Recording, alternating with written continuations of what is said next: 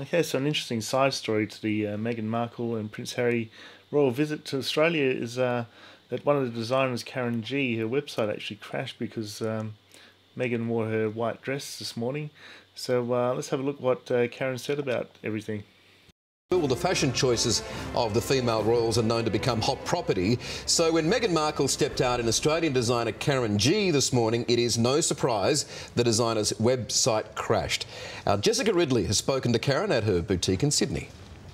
Well, the interest in Karen Gee's brand has been so enormous today. Her website has actually crashed. Karen, tell me about the moment you found out this morning that the princess was wearing your dress. A lot of texts, um, both uh, from Sydney and also um, Queensland, because I'm originally from Queensland. So it's super exciting to us, yeah. Yeah. And you said that you had to check the internet just to be sure it was? I did a lot of Googling, but it was then coming up quite quickly. So um, I'm just absolutely so thrilled and so grateful. Yeah, and what, what, what has it done to your brand just today? I think it's certainly brought some awareness to the brand and what we stand for and our vision and our purpose, or my purpose for the brand. Uh, so that's fantastic. yeah. I heard there was a bit of screaming going on in here. There was a lot of screaming. A few people stopped to check that we were okay, but then realised what it was about and were really happy for us as well. And this Instagram world as well, I mean, you must have a lot of people now exposed to what you're doing. I, I do, and, um, you know, a lot of tagging's going on and um, originally, Instagram was our shop front um, when I started many, many years ago. So, very grateful, yeah, that I am being tagged and, and not just in Australia but all over the world. Yeah. Now, talk me through this dress. What's it? What's it called? How have you designed it?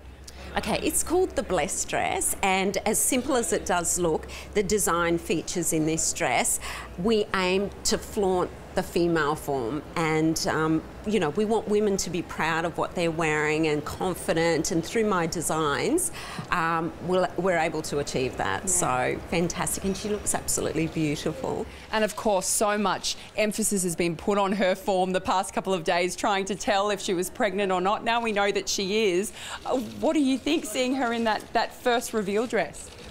It's I, am absolutely touched. I'm honoured. I'm. It's just uh, quite surreal and. Um, I don't know. I, I, see every woman and I get super excited when they're wearing a Karen Gee dress. Um, you know, for Meghan to choose Karen Gee to wear on her first day is just super, super exciting. and orders for that dress have gone through the roof? They have, I've heard, um, uh, because I've been, you know, um, answering calls and a bit tied up. Um, but yes, yes, we have had a lot of orders. It must be so exciting for you knowing that, you know, a couple of garments were purchased months ago, or I don't know how long ago, and then to just find out as a bit of a surprise today. Yes, and uh, you, you know, you, you do this and you have this great opportunity, but I don't get too excited because you don't want to be so disappointed. And, you know, to even be approached um, in the first instance is, is an absolute honour. But now for her to be showcasing my brand to the world and to be proudly doing that as well, um, she's absolutely beautiful and her values are really important to us as well. Yeah. We know that she's got 76 engagements with Prince Harry over the next 16 days, three outfit changes a day, a number of Australian designers that they've sourced from. But what would it mean if you were chosen again? It would be wonderful, but you know what? We're just embracing the moment and. Um, there's so many amazing fashion designers out there, Australian fashion designers, um, that I'm a big fan of, and I think if they get this opportunity as well, it's, it's fantastic, and I'd be so happy for them because it is a moment. Yes. Well, Karen, this is your moment. Enjoy it. Thank you very much for speaking with us. Thank you.